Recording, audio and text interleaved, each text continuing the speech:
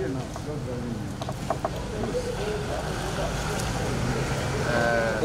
estão, a ver, estão, estão lá,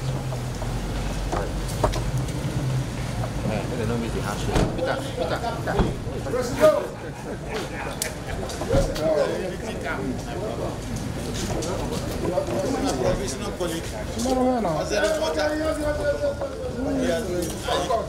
Understand, huh?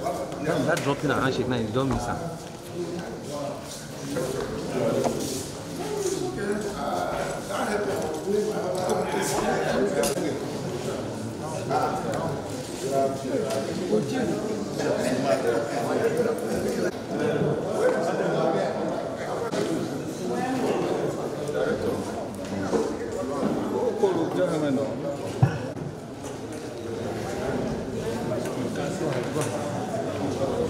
Top government functionary.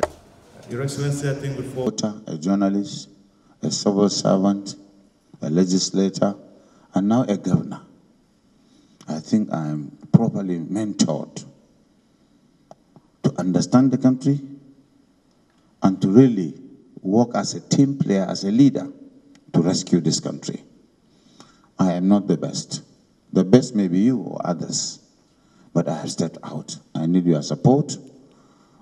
I have been trusted before with responsibilities. I am being trusted now. My people even don't want me to go. But leadership is a sacrifice. very much. Uh, Mohammed, and very distinguished members of your entourage. Your, and uh, the Chief of Staff who welcomed you, already know him, my Commissioner for Health. And I want to employ and admonish and encourage you to maintain love and peace, even amongst those that you're contending with in a party, knowing full well that at the end of the day, it will be one person, and all of us, we shall team up together to ensure that that person wins. Nigeria is waiting for PDP, and we cannot afford to make any mistake.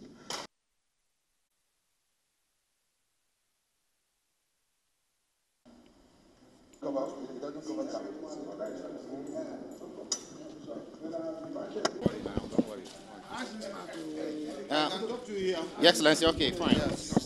Anyway, yeah. top issue in, in Nigeria today is insecurity. Yeah. So much so that every region must work with the state governments as subnationals to secure the country.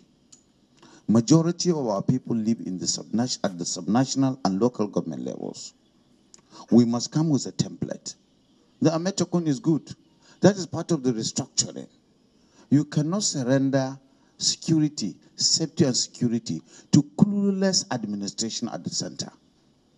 You cannot allow exclusion and nepotism to drive disillusionment as to cause misconception, sensibilities, and even to the extent of threatening our collective heritage. That is Nigeria.